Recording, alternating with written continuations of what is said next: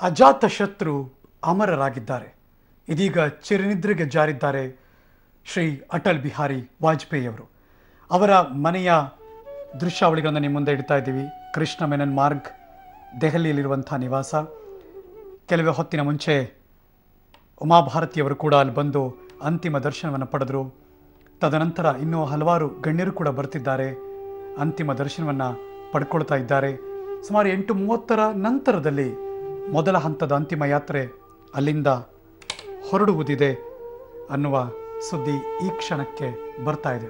S, Shabana Azmi ಮತ್ತು ಅವರ ದಂಪತಿಗಳ ಸಮೇತ ಅಫ್ಕೋರ್ಸ್ ಅವರೀಗ ಬರ್ತಿದ್ದಾರೆ ಅಂತಿಮ ದರ್ಶನವನ್ನು ಪಡೆಯೋದಕ್ಕೆ.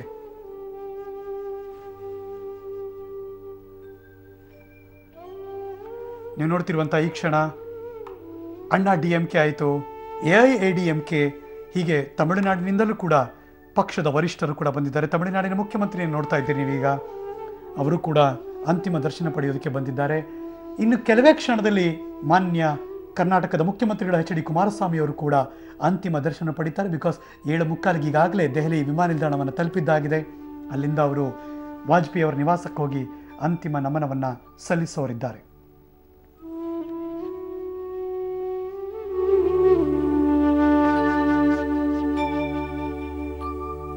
ನೋಡ್ತಿರುವಂತಹ ದೃಶ್ಯಾವಳಿಗಳು ಹಲವಾರು ಜನರಿಗೆ ಇಡೀ ದೇಶದಲ್ಲಿ ತುಂಬ ಕಾಡ್ತಾ ಇರುತ್ತೆ ಅಟಲ್ ಬಿಹಾರಿ ವಾಜಪೇಯಿ ಅವರ ಈ ನಿಧನ. ಎಲ್ಲ ಗಣ್ಯರು ಕೂಡ ಅವರ ಅಗಲಿಕೆಗೆ ತಮ್ಮ ಕಂಬನಿಯನ್ನು ಮೆಡಿದರು. ಅವರು ನೋಡಿದಂತಹ ಆ ಧೀಮಂತ ನಾಯಕನ ಬಗ್ಗೆ ಕಳೆದುಕೊಂಡಿರುವ ಈ ಸಂದರ್ಭದಲ್ಲಿ ತಮ್ಮ ನೆನಪುಗಳ ಬುತ್ತಿಯಿಂದ ಹಲವಾರು ಒಂದು ರೀತಿ ಕಳ್ಕೊಂಡ್ಬಿಟ್ವಲ್ಲ ನಾವು ಇಂಥ ಮೇಧಾವಿಯನ್ನು, ಒಬ್ಬ ಸಹೃದಿ ವ್ಯಕ್ತಿತ್ವವನ್ನು ಅಂತ ಕೂಡ ನೆನಪಿಸ್ಕೊಳ್ತಾರೆ. ನಿಸ್ವಾರ್ಥ ಸೇವೆ ನೂರ ಇಪ್ಪತ್ತೈದು ಕೋಟಿ ಭಾರತೀಯರು ಸದಾ ನೆನಪಿಸ್ಕೊಳ್ತಾರೆ ಅಂತ ನಿನ್ನೆ ತಮ್ಮ ಮಾತುಗಳಲ್ಲಿ ಮಾನ್ಯ ಪ್ರಧಾನಮಂತ್ರಿಗಳು ಮಾತಾಡ್ತಿರ್ಬೇಕಾದ್ರೆ ನಾನು ಈಗಲೂ ಕೂಡ ನೆನಪಿಸ್ಕೊಳ್ತಾನೆ. ವೈಯಕ್ತಿಕವಾಗಿ ಮತ್ತು ಇಡೀ ದೇಶಕ್ಕೆ ಒಂದು ದೊಡ್ಡ ಮಟ್ಟದ ತುಂಬಲಾರದ ನಷ್ಟ ಇದು ಅಂತ ಕೂಡ ಅವರು ತೀವ್ರ ಶೋಕ ಸಂದೇಶದಲ್ಲಿ ವ್ಯಕ್ತಪಡಿಸ್ತಾ ಇದ್ದರು ಮಾಜಿ ಪ್ರಧಾನಿ ಅಟಲ್ ಬಿಹಾರಿ ವಾಜಪೇಯಿ ಅವರ ನಿಧನಕ್ಕೆ ಅವರ ಅಂತಿಮ ದರ್ಶನವನ್ನು ಪಡೆದುಕೊಳ್ಳೋದಕ್ಕೆ ನೆನ್ನೆ ರಾತ್ರಿಯಿಂದಲೂ ಕೂಡ ಅವರ ನಿವಾಸ ಕೃಷ್ಣ ಮೆನನ್ ಮಾರ್ಗಕ್ಕೆ ಗಣ್ಯರು ಬರ್ತಿದ್ದಾರೆ. ಈಗ ಬಲಭಾಗದಲ್ಲಿ ಸೇನಾ ಪಡೆ ಸೇನಾ ವಾಹನವನ್ನು ಸಜ್ಜುಗೊಳಿಸಿದ್ದಾರೆ. ಅಂತಿಮ ಯಾತ್ರೆಗೆ ಅವರ ಪಾರ್ಥಿವನ ಇರಿಸಿ ಇರಿಸಿ ಈ ಯಾತ್ರೆಯನ್ನು ತೆಗೆದುಕೊಂಡು ಹೋಗ್ತಾರೆ ಎಂಟು ಮೂವತ್ತರ ನಂತರ. ಫೈನಲಿ ಇವತ್ತು ಸಂಜೆ ಐದು ಗಂಟೆ ಆದಮೇಲೆ ವಿಜಯ ಘಾಟ್ ಲಾಲ್ ಬಹದ್ದೂರ್ ಶಾಸ್ತ್ರಿ ನೆಹರು ಅವರ ಸ್ಮಾರಕ ಇರುವಂಥ ರಾಷ್ಟ್ರೀಯ ಸ್ಮೃತಿ ಸ್ಥಳ, ಅಂದರೆ ಶಾಂತಿವನ, ಅಲ್ಲೇ ಒಂದೂವರೆ ಎಕರೆ ಅಲ್ಲಿ ಸ್ಮಾರಕವನ್ನು ನಿರ್ಮಾಣ ಮಾಡಲಾಗುತ್ತೆ. ಕೆಲವೇ ಹೊತ್ತಿನ ಮುಂಚೆ ರಾಷ್ಟ್ರೀಯ ಅಧ್ಯಕ್ಷರಾದ ಅಮಿತ್ ಶಾ ಅಲ್ಲಿ ಬಂದರು. ಭೂಪೇಂದ್ರ ಯಾದವ್ ಜೊತೆ ಒಂದಷ್ಟು ಮಾತುಕತೆ, ಅಲ್ಲಿ ಎಲ್ಲ ಅರೇಂಜ್ಮೆಂಟ್ಸ್ಗಳನ್ನು ನೋಡಿದ್ರು. ಈ ಕ್ಷಣ ಅಲ್ಲಿಂದ ಹೊರಟಿದ್ದಾರೆ ದೆಹಲಿಯ ಪಕ್ಷದ ಕಚೇರಿ ಬಿಕಾಸ್ ಕೆಲವೇ ಹೊತ್ತಿನ ನಂತರ ಸುಮಾರು ಮೊದಲ ಹಂತದ ಆರು ಕಿಲೋಮೀಟರ್ ಪಯಣವನ್ನು ಆ ಅಂತಿಮ ಯಾತ್ರೆಯಲ್ಲಿ ನಾವು ನೋಡ್ಬೋದು ಅಜಾತ ಶತ್ರು ಅಟಲ್ ಬಿಹಾರಿ ವಾಜಪೇಯಿ ಅವರ ನಿಧನದಿಂದ ಶೋಕ ಮಡುಗಟ್ಟಿದೆ ರಾಷ್ಟ್ರದಾದ್ಯಂತ. ಇವತ್ತಿನಿಂದ ಏಳು ದಿನಗಳ ಕಾಲ ಶೋಕಾಚರಣೆ ರಾಷ್ಟ್ರದಾದ್ಯಂತ.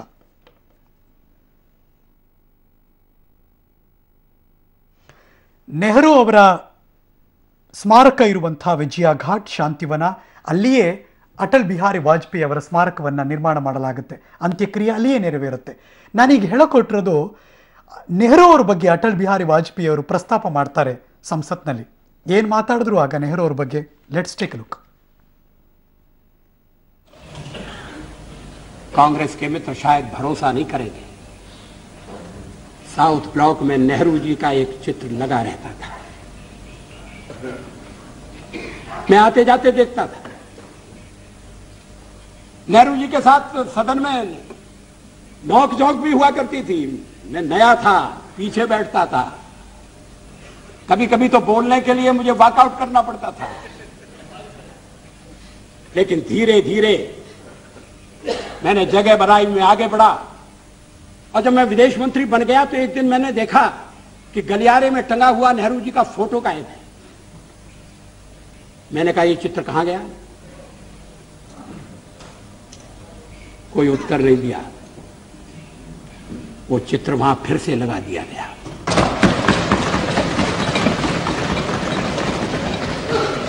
क्या इस भावना की कद्र है? क्या देश में ये भावना पनपे ऐसा नहीं है कि नेहरू जी से मतभेद नहीं थे और मतभेद चर्चा में गंभीर रूप से उभर कर सामने आती थी। मैंने एक बार पंडित जी से कह दिया था कि आपका एक मिला जुला व्यक्तित्व है और आप में चर्चिल भी है और चैम्बरलेन भी है। वो नाराज़ नहीं हुए। शाम को किसी बैंकवेट में मुलाकात हो गई और उन्होंने कहा, आज तो बड़ा जोरदार भाषण दिया और हँसते हुए चले गए। आजकल ऐसी आलोचना करना, दुश्मनी को दावत देना। लोग बोलना बंद कर देंगे। जब जेनेवा में मानवाधिकारों के सम्मेलन में कश्मीर के सवाल को हमारे पड़ोसी ने उठाने का फैसला किया तो फिर उस समय के प्रधानमंत्री श्री नरसिंह राव की नज़र मेरे ऊपर गई कि मैं वहाँ जाकर भारत का प्रतिनिधित्व करूँ। हमारे पड़ोसी देश के लोगों को बड़ा आश्चर्य हुआ, वहाँ के नेताओं को बड़ा ताजुब हुआ। किसी नेता ने कहा भी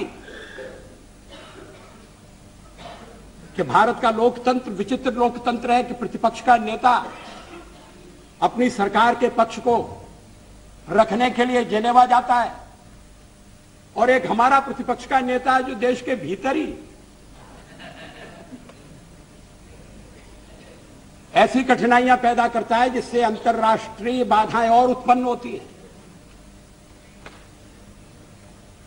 लोगों ने कहा कि नरसिंह राव जी सरल आदमी नहीं है, बड़े चतुर आदमी हैं। ये मत समझिए कि वो केवल देश की एकता का प्रदर्शन करने के लिए भेज रहे हैं। कहीं कहीं उनके मन में यह भी हो सकता है कि अगर जेनेवा में बात नहीं बनी और खिलाफ प्रस्ताव पास हो गया तो दोष में हिस्सा बटाने के लिए वाजपेयी भी बलि का बकरा बनाया जा सकता है मैंने इस पर विश्वास नहीं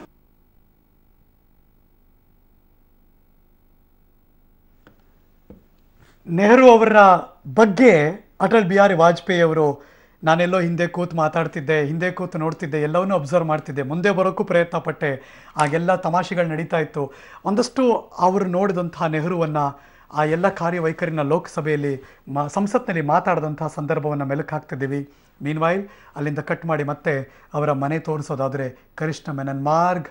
ಮತ್ತೊಮ್ಮೆ ಹೇಳ್ತಾನೆ ಇರ್ತೀವಿ ಈ ಹೆಸರನ್ನ ಬಿಕಾಸ್ ಇತಿಹಾಸ ಪುಟದಲ್ಲಿ ದಾಖಲಾಯಿತು ಈ ದಿನ ಅವರನ್ನು ಕಳೆದುಕೊಂಡಂಥ ಈ ದುಃಖದ ದಿನ. ಮಡುಗಟ್ಟಿದೆ ಶೋಕ ಇಡೀ ರಾಷ್ಟ್ರದಾದ್ಯಂತ. ಅವರ ಮನೆಗೆ ಅಂತಿಮ ದರ್ಶನ ಪಡೆಯೋದಕ್ಕೆ ರಾಷ್ಟ್ರದಾದ್ಯಂತ ಮತ್ತು ವಿದೇಶದಿಂದಲೂ ಕೂಡ ನೆರೆಯ ಪಾಕಿಸ್ತಾನ ಈ ಕಡೆಯಿಂದ ನೇಪಾಳ, ಮಗದೊಂದು ಕಡೆಯಿಂದ ಬಾಂಗ್ಲಾದೇಶ, ಇಲ್ಲೆಲ್ಲೋ ಇಂದ ಶ್ರೀಲಂಕಾ, ಹೀಗೆ ಎಲ್ಲ ಭಾಗದಿಂದ ಕೂಡ ಅಲ್ಲಿನ ರಾಯಭಾರಿಗಳು ಬರ್ತಿದ್ದಾರೆ.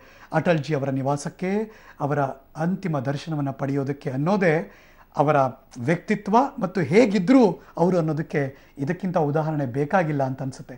ಎಲ್ಲ ಆರ್ ಎಸ್ನ ಮುಖಂಡರು ಮತ್ತು ಬೇರೆ ಬೇರೆ ರಾಜ್ಯದ ಮುಖ್ಯಮಂತ್ರಿಗಳು, ಭಾರತೀಯ ಜನತಾ ಪಕ್ಷದ ಗಣ್ಯಾತಿ ಗಣ್ಯರು ಜೊತೆಗೆ ಆಮ್ ಜನತಾ ಅಂದರೆ ಒಬ್ಬ ಕಾಮನ್ ಮ್ಯಾನಿಂದ ಹಿಡಿದು ಎಲ್ಲರ ತನಕ ಮೆಚ್ಚುಗೆಗೆ ಪಾತ್ರರಾದವರು ಅಟಲ್ ಬಿಹಾರಿ ವಾಜಪೇಯಿ ಅವರು. ಹೀಗಾಗೇ ಎಲ್ಲರಿಗೂ ಕೂಡ ಆ ಪ್ರೀತಿ, ಅವರು ನಡೆದುಕೊಂಡ ರೀತಿ, ಇದೆಲ್ಲವೂ ಕೂಡ ಸದಾ ಚಿರಸ್ಮರಣೀಯ, ನಿಜವಾಗ್ಲೂ ಕೂಡ ಇಡೀ ದೇಶ. ದೇಶದ ಇಡೀ ರಾಜಕೀಯ ಆಯಾಮದಲ್ಲಿ ಹೊಸ ಭಾಷ್ಯವನ್ನು ಬರೆಯೋಕ್ಕೆ ಸಾಧ್ಯ ಆಗಿದ್ರೆ ಅದು ಅಟಲ್ ಬಿಹಾರಿ ವಾಜಪೇಯಿ ಅವರು. ಕಾಂಗ್ರೆಸ್ ಪಕ್ಷ ಅಧಿಕಾರದಲ್ಲಿದ್ದಂಥ ಸಂದರ್ಭದಲ್ಲಿ ದೇಶದ ಮೊದಲ ಕಾಂಗ್ರೆಸ್ಸೇತರ ಸರ್ಕಾರವನ್ನು ಕಟ್ಟಿ ಮುನ್ನಡೆಸಂಥ ಒಬ್ಬ ಧೀಮಂತ ನಾಯಕ. ಅದಕ್ಕೆ ಅನ್ಸುತ್ತೆ, ಎಲ್ ಕೆ ಅಡ್ವಾಣಿಯವರು ಅವರೊಬ್ಬ ನನಗೆ ಹಿರಿಯಣ್ಣನಾಗಿ ಅಷ್ಟೇ ಅಲ್ಲ, ಗೆಳೆಯನಾಗಿ ಅರವತ್ತೈದು ವರ್ಷದ ಒಡನಾಟವನ್ನು ಅವರು ನೆನಪಿಸ್ಕೊಂಡಿದ್ದು ಅಂತ.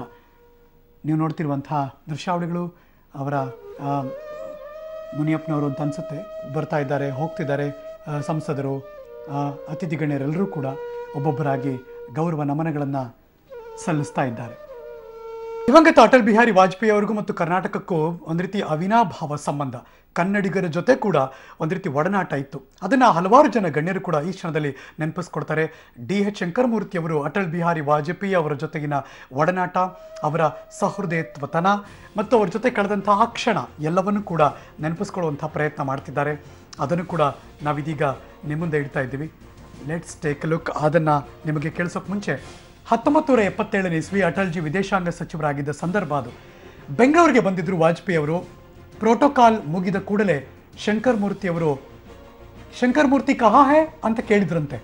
ಇದನ್ನು ಡಿ ಎಸ್ ಶಂಕರ್ ಅವರೇ ನೆನಪಿಸ್ಕೊಂಡು ಹೇಳ್ತಾರೆ. ಕರುನಾಡಿನ ಬಂಧ ಹೇಗಿತ್ತು ಅನ್ನೋದಕ್ಕೆ. ಎಲ್ಲೋ ಮೂಲೆಯಲ್ಲಿ ಮಾನ್ಯ ಶ್ರೀ ಡಿ ಎ ಶಂಕರ್ ಮೂರ್ತಿ ಅವರು ಎದುರಿಗೆ ಬಂದಾಗ ಅಟಲ್ಜಿ ಸೀದಾ ಅವರ ಹೆಗಲ ಮೇಲೆ ಕೈ ಹಾಕಿದ್ರು. ಎಲ್ಲಿನ ಕಾರು? ನಡಿ ನಿಮ್ಮ ಮನೆಗೆ ಹೋಗೋಣ ಅಂತ ಶಂಕರಮೂರ್ತಿಯವರನ್ನ ಉದ್ದೇಶಿಸಿ ಅಟಲ್ ಬಿಹಾರಿ ವಾಜಪೇಯಿ ಅವರು ಮಾತನಾಡಿದರು. ಹೆಂಗಾಗ್ಬೇಡ ಆಗ? ಆ ಸಂದರ್ಭದಲ್ಲಿ ಎಲ್ಲೋ ಅಟಲ್ ಬಿಹಾರಿ ವಾಜಪೇಯಿ ಅವರು ನನ್ನ ನಿಂಗೆ ಕೇಳ್ತಿದ್ದಾರಾ ಅಂತ. ಇನ್ನು ಕರುನಾಡಿನ ಬಂಧ ಎರಡು. ಅದು ಸಾವಿರದ ಒಂಬೈನೂರ ಎಂಬತ್ತ್ಮೂರನೇ ಇಸ್ವಿ ಚುನಾವಣೆ ಸಮಯ. ವಾಜಪೇಯಿ ಅವರು ಶಂಕರಮೂರ್ತಿ ಒಟ್ಟೊಟ್ಟಿಗೆ ಪ್ರಚಾರವನ್ನು ಮಾಡ್ತಿದ್ರು. ಬೆಳಗಾವಿಯಲ್ಲಿ ಪ್ರಚಾರದ ಸಂದರ್ಭದಲ್ಲಿ ಏನಿಬ್ಬರಿಗೂ ತುಂಬ ಹಸುವು. ಆಗ ಅವ್ರ ಹತ್ರ ಇದ್ದದ್ದು ಒಂದೇ ಚಪಾತಿ. ಅಫ್ಕೋರ್ಸ್ ಅಟಲ್ ಬಿಹಾರಿ ವಾಜಪೇಯಿ ಅವರು ಬಂದಿದ್ದಾರೆ, ಒಂದೇ ಚಪಾತಿ. ಚಪಾತಿಯ ಒಂದು ತುಂಡನ್ನು ಅಟಲ್ ಬಿಹಾರಿ ಅವರು ಸವಿದು, ಕೂಡಲೇ, ನಿಂದೇನು ಕತೆ? ನೀ ತಿಂದಿದೀಯಾ? ಅಂತ ಪ್ರಶ್ನೆ ಮಾಡ್ತಾರೆ ಡಿ ಎಚ್ ಶಂಕರ್ ಮೂರ್ತಿ ಅವ್ರನ್ನ. ಡಿ ಎಚ್ ಶಂಕರ್ ಮೂರ್ತಿ ಅವರು ಬಹುಶಃ ಗೊತ್ತಿಲ್ಲ ಪ್ರಾಂಪ್ಟಾಗಿ ಅಯ್ಯ ಆಯ್ತು, ಆಯಿತು ಅಂದ್ಬಿಟ್ಟಿದ್ರೆ ಪರವಾಗಿಲ್ಲ. ಇಲ್ಲ, ಅಂತ ಹೇಳ್ತಾರೆ. ಸರಿ, ಅಟಲ್ ಬಿಹಾರಿ ವಾಜಪೇಯಿ ಒಂದೇ ಚಪಾತಿ, ಈ ಕಡೆ ನಾನು ತಿಂತೀನಿ ಆ ಕಡೆ ನೀನು ತಿನ್ನು ಅಂತ ಹೇಳ್ತಾರೆ. ಎಂಥ ಮಾತದು. ಬಹುಶಃ ಇವತ್ತಿಗೂ ಡಿ ಎ ಶಂಕರಮೂರ್ತಿ ಅವರು ಆ ಕ್ಷಣ ನನಗದು ಅಂತ ಮೆನ್ಷನ್ ಮಾಡ್ತಾರೆ ಆ ದಿವಸವನ್ನು. ಕರುನಾಡಿನ ಬಂಧ ಮೂರನೇ ಭಾಗ. ಇಂದಿರಾ ಗಾಂಧಿಯವರ ಹತ್ಯೆ ಆಗುತ್ತೆ. ಆಗ ನಡೆದಂಥ ಚುನಾವಣೆ ಭಾರತೀಯ ಜನತಾ ಪಕ್ಷದ ಹೀನಾಯ ಸೋಲದು. ಬಹುಶಃ ಆ ಜಾಗದಲ್ಲಿ ಬೇರೆ ಯಾರಾದರೂ ಇದ್ದಿದ್ರು ಅದನ್ನು ಹೇಗೆ ತಗೋತಿದ್ರು ಗೊತ್ತಿಲ್ಲ. ವಾಜಪೇಯಿ ಅವ್ರಿಗೂ ಕೂಡ ಆ ಸೋಲನ್ನು ಅವ್ರಿಗೂ ಅರಗಿಸ್ಕೊಳ್ಳೋಕ್ಕಾಗಲ್ಲ. ವಾಜಪೇಯಿ ಅವರ ಸೋಲನ್ನು ಅರಗಿಸಿಕೊಳ್ಳಲಾಗದಂತಹ ಕರ್ನಾಟಕದ ಭದ್ರಾವತಿಯ ಒಬ್ಬ ಸಾಮಾನ್ಯ ಕಾರ್ಯಕರ್ತ ಲಕ್ಷ್ಮೀನಾರಾಯಣ ಅನ್ನೋರು ಒಂದು ಆತ್ಮಹತ್ಯೆಯ ಲೆಟರ್ ಬರೀತಾರೆ. ಈ ಸೋಲನ್ನು ನನಗೆ ಅರಗಿಸ್ಕೊಳ್ಳೋಕ್ಕಾಗ್ತಿಲ್ಲ. ನಾನು ಆತ್ಮಹತ್ಯೆ ಮಾಡ್ಕೋತಿದ್ದೀನಿ ಅಂತ ಒಂದು ಲೆಟರ್ ಬರೆದಿಟ್ಟು ಅದ್ರ ಮೇಲೆ ಕಲ್ಲಿಟ್ಟುಬಿಟ್ಟು ನೇಣು ಹಾಕೊಂಡು ಆತ್ಮಹತ್ಯೆ ಮಾಡ್ಕೋತಾನೆ. ಈ ವಿಚಾರವನ್ನು ಶಂಕರಮೂರ್ತಿಯವರು ಅಟಲ್ ಬಿಹಾರಿ ವಾಜಪೇಯಿ ಅವರಿಗೆ ತಲುಪಿಸ್ತಾರೆ. ಇದನ್ನು ಕೇಳಿಸ್ಕೊಂಡಿದ್ದಷ್ಟೇ ವಾಜಪೇಯಿ ಅವರು ದೂರದ ದೆಹಲಿಯಿಂದ ಕರ್ನಾಟಕದ ಭದ್ರಾವತಿಗೆ ಓಡೋಡಿ ಬರ್ತಾರೆ. ಆ ಕುಟುಂಬಕ್ಕೆ ಅವ್ರ ಜೊತೆ ಮಾತಾಡ್ತಾರೆ. ಆ ಕುಟುಂಬಕ್ಕೆ ಆರ್ಥಿಕ ನೆರವನ್ನು ಕೊಡ್ತಾರೆ. ಅವರ ತಂದೆಯವ್ರ ಜೊತೆ ಮಾತಾಡ್ತಾರೆ. ಅವರ ತಂಗಿ ತಮ್ಮನ ಓದಿಗೆ ಇಪ್ಪತ್ತೈದು ಸಾವಿರ ರೂಪಾಯಿನ ಕೊಡ್ತಾರೆ. ಅದು ಅದರ ಮುಂದಿನ ಜವಾಬ್ದಾರಿಯನ್ನು ಡಿ ಎ ಶಂಕರಮೂರ್ತಿ ಅವರಿಗೆ ಬಿಡ್ತಾರೆ. ಮುಂದಿನ ನೀ ನೋಡ್ಕೊಳಪ್ಪ ಅಂತ. ಅಷ್ಟೇ ಸಾಲಲ್ಲ, ಹತ್ತು ಹದಿನೈದು ವರ್ಷ ಡಿ ಎ ಶಂಕರಮೂರ್ತಿಯವರು ಒಂದಷ್ಟು ದುಡ್ಡು ಹಾಕ್ತಾರೆ. ಆ ಎಲ್ಲ ಎಜುಕೇಷನ್ನ ಇವರು ನೋಡ್ಕೋತಾರೆ. ಇಮ್ಯಾಜಿನ್ ರಾಷ್ಟ್ರ ಮಟ್ಟದ ನಾ, ನಾಯಕ, ಧೀಮಂತ ನಾಯಕ ಭದ್ರಾವತಿಗೆ ಓಡ್ ಬರ್ತಾರೆ, ನನ್ನಿಂದ ಒಬ್ಬ ಜೀವ ಹೋಯ್ತಲ್ಲ ಅಂತ ರಾಜ್ಯ ಬಿ ಜೆ ಪಿ ನಾಯಕರ ಕಣ್ಣೀರು ಕಂಡು ವಾಜಪೇಯಿ, ನಾನು ಪಲಾಯನವನ್ನ ಮಾಡಲ್ಲ ಅಂತಾರೆ. ಇನ್ನು ಮುಂದಿನ ಭಾಗ. ಶಿವಮೊಗ್ಗಕ್ಕೆ ಬರ್ತಾರೆ ವಾಜಪೇಯಿ ಅವರು. ಏನು ತುಂಬ ಜ್ವರ ಅವ್ರಿಗೆ. ವಾಜಪೇಯಿ ಅವ್ರಿಗೆ. ಆ ಸಂದರ್ಭದಲ್ಲಿ ಮಲಗಿದ್ದ ವಾಜಪೇಯಿ ಮೂಗಿಗೆ ಮಗದೊಬ್ಬ ಧೀಮಂತ ನಾಯಕನನ್ನ ನಾವು ನೆನಪಿಸ್ಕೊಳ್ಬೇಕು. ದಿವಂಗತ ವಿ ಎಸ್ ಆಚಾರ್ಯರನ್ನ. ಆಚಾರ್ಯರು ಚಹಾ ಹಿಡಿದ ಕೂಡಲೇ ಎದ್ದು ಕೂತರು ನೋಡಿ. ಮಾಜಿ ಪ್ರಧಾನಮಂತ್ರಿ ಅಂದರೆ ಆಗ ವಾಜಪೇಯಿ ಅವರು ವಿ ಎಸ್ ಆಚಾರ್ಯರ ಸಣ್ಣ ಕಾರಲ್ಲಿ ಕುಳಿತುಕೊಳ್ಳಲಾಗದೆ ವಾಜಪೇಯಿಯವರು ಅಗಲಪ್ಪ ನನಗೆ ಅಂತ ಕೆಳಗಿಳಿದ ಉದಾಹರಣೆ ಕೂಡ ಇದೆ. ಕರುನಾಡಿನ ಬಂಧ ಐದನೇದು. ಆರ್ ಎಸ್ ಎಸ್ನ ಅಫ್ಕೋರ್ಸ್ ಈಗಲೂ ಅವರಿದ್ದಾರೆ. ಕೆ ನರಹರಿ ಅವರು ಅವರ ಮನೆಗೆ ಹೋಗಿ ರೊಟ್ಟಿ ಮಾಡಿಸ್ಕೊಂಡು ತಿಂತಾ ಇದ್ರು, ಯಾವಾಗ ಬಂದರೂ ಕೂಡ. ಕೆ ನರಹರಿ ಅವರ ಅಮ್ಮ ರೊಟ್ಟಿ ಮಾಡಿದ್ರೆ ಅದು ವಾಜಪೇಯಿ ಅವರಿಗೆ ಬಹಳ ಪ್ರೀತಿ ಅದು. ಇನ್ನೊಂದು ಹಾಕು, ಮತ್ತೊಂದು ಹಾಕು ಅಂತ ಕೇಳಿ ತಿನ್ನುತ್ತಿದ್ದದನ್ನು ಇವತ್ತಿಗೂ ಕೂಡ ಆರ್ ಎಸ್ ಎಸ್ನ ನಾಯಕ ಕೆ ನರಹರಿಯರು ಅವರ ಒಡನಾಡಿಯಾಗಿ ತುಂಬ ಬಾರಿ ನೆನಪಿಸ್ಕೊಳ್ತಾರೆ.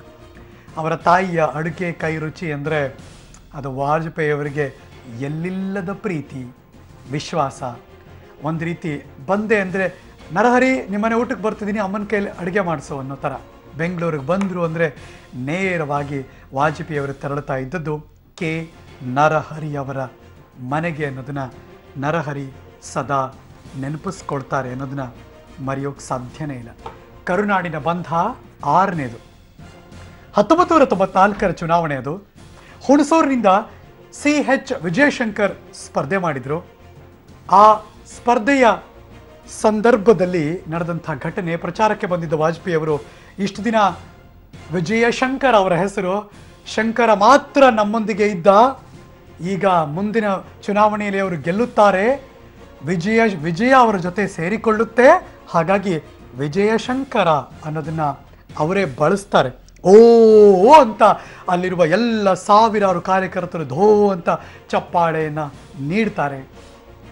ಎರಡು ಸಾವಿರದ ನಾಲ್ಕರ ಲೋಕಸಭಾ ಚುನಾವಣೆಯಲ್ಲಿ ಒಡೆಯರನ್ನು ವಿಜಯಶಂಕರ್ ಸೋಲಿಸಿದ್ದರು.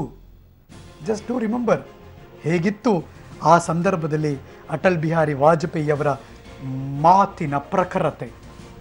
ದೆಹಲಿಯಲ್ಲಿ ಭೇಟಿ ಮಾಡಿದಾಗ ಮಹಾರಾಜರನ್ನು ಸೋಲಿಸಿದ್ದು ನೀವೇನಾ? ಅಂತ ಕೂಡ ವಿಜಯಶಂಕರನ್ನ ಸಂಬೋಧನೆ ಮಾಡ್ತಾರೆ, ಪ್ರಶ್ನೆ ಮಾಡ್ತಾರೆ. ನಾನು ಯಾಕೆ ಇದನ್ನು ಮತ್ತೆ ಮತ್ತೆ ಪ್ರಸ್ತಾಪ ಮಾಡ್ತಿದ್ದೀನಿ ಅಂದರೆ, ಇವರು ವಿಜಯಶಂಕರ್, ಇವರು ಡಿ ಎಚ್ ಶಂಕರ್ ಮೂರ್ತಿ ಇವ್ರು ಯಾರೋ ಒಬ್ಬರು ಅಂತ ಪ್ರತಿಯೊಬ್ಬ ಆ ಸ್ಥಳೀಯ ಮಟ್ಟದ ಆ ನಾಯಕರನ್ನು ಕೂಡ ಗುರುತು ಹಿಡಿದು ಕೇಳೋಕ್ಕೆ ಸಾಧ್ಯ ಆಗಿದ್ದರೆ ಅದು ಅಟಲ್ ಬಿಹಾರಿ ವಾಜಪೇಯಿ ಅವರಿಗೆ ಮಾತ್ರ. ದುರಂತ ಅಂದರೆ ಅವರ ಕೊನೆಯ ದಿನಗಳ ಒಂದಷ್ಟು ವರ್ಷಗಳ ಅಥವಾ ತಿಂಗಳುಗಳ ಹಿಂದೆ, ಅವರು ಯಾರನ್ನೂ ಗುರುತು ಹಿಡಿಯದೇ ಇರುವಂತಹ ಸ್ಥಿತಿಗೆ ತಲುಪಿ ಅವರ ಮನೆ ಕೃಷ್ಣ ಮೆನನ್ ಮಾರ್ಗದಲ್ಲಿ ಮೌನವಾಗಿ ಹಾಸಿಗೆ ಹಿಡಿದು ಮಲಗಿದ್ದನ್ನು ಕೂಡ ಎಲ್ಲ ನಾಯಕರು ನೋಡಿದ್ದಾರೆ. ಬೇರೆ ನಾಯಕರು ಬಂದು ಅಟಲ್ಜಿಗೆ ನಮಸ್ಕಾರ ಮಾಡ್ತಾರೇನೋ ನಿಜ, ಆದರೆ ಅಟಲ್ಜಿ ಅವರು ಯಾರವರು ಅಂತ ನೋಡದೇ ಇರುವಂತಹ ಸ್ಥಿತಿ ಅಷ್ಟೇ. ಅವ್ರಿಗೇನೂ ನೆನಪಿಲ್ಲ. ಸುಮ್ಮನೆ ಮಲಗಿದ್ದಾರೆ ಸುಮ್ಮನೆ ಮಲಗಿದ್ದಾರೆ ಸುಮ್ಮನೆ ಮಲಗಿದ್ದಾರೆ. ಆಗ ಜೀವ ಇತ್ತು, ಆದರೆ ಈಗ ಹಾಗೆ ಅದೇ ಕೃಷ್ಣ ಮೆನನ್ ಮಾರ್ಗದಲ್ಲಿ ಸುಮ್ಮನೆ ಮಲಗಿದ್ದಾರೆ ಸುಮ್ಮನೆ ಮಲಗಿದ್ದಾರೆ. ಆದರೆ ಅವರಲ್ಲಿರುವ ಆತ್ಮ ಇಲ್ಲ, ಜೀವ ಇಲ್ಲ. ಆದರೆ ಅವರು ಚಿರಸ್ಥಾಯಿಯಾಗಿ ರಾಷ್ಟ್ರದ ಪ್ರತಿಯೊಬ್ಬರ ಮನಸ್ಸಲ್ಲೂ ಕೂಡ ಉಳಿದು ಬಿಟ್ಟರು. ಅಟಲ್ಜಿ ನಾವು ಯಾವಾಗಲೂ ಕೂಡ ರಿಪ್ ಅಂತ ಕಳಿಸ್ಬಿಡ್ತೀವಿ, ರೆಸ್ಟ್ ಇನ್ ಪೀಸ್ ಅಂತ. ಈಗ ರಿಪ್ ಅಂದರೆ ಅದರ ಡೆಫಿನೇಷನ್ ಬೇರೆದೇ ಅರ್ಥ ಆಗ, ಅನ್ಬೇಕು ಅನ್ಸುತ್ತೆ. Return if possible. Return if possible. ಸಾಧ್ಯ ಆದರೆ ಮತ್ತೆ ಹುಟ್ಟಿ ಬನ್ನಿ. ರೆಸ್ಟ್ ಇನ್ ಪೀಸ್ ನಿಜ ಆದರೆ RIP, return if possible Shri Atalji.